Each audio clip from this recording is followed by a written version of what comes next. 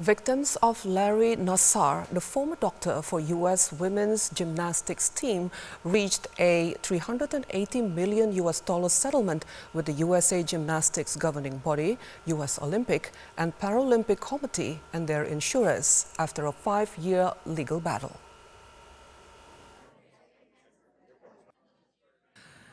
The settlement will cover claims brought, among others, by Olympic gold medalists Simone Biles, Aly Raisman, and McKayla Maroney, who were among Nassar's most high-profile sexual abuse victims.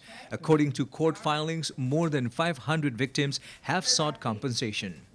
Nassar, the main doctor for Olympic gymnast for 18 years, was sentenced in federal court in 2017 to 60 years in prison on charges of possessing child sex abuse material. The following year, Nassar was sentenced up to 175 years and up to 125 years respectively in two separate Michigan courts for molesting female gymnasts under his care.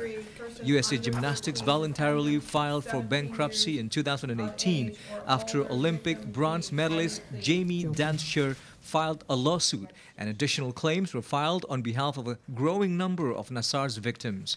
The terms of Monday's settlement deal, which were confirmed after a U.S. bankruptcy court hearing in Indiana, will also enable USA Gymnastics to exit bankruptcy.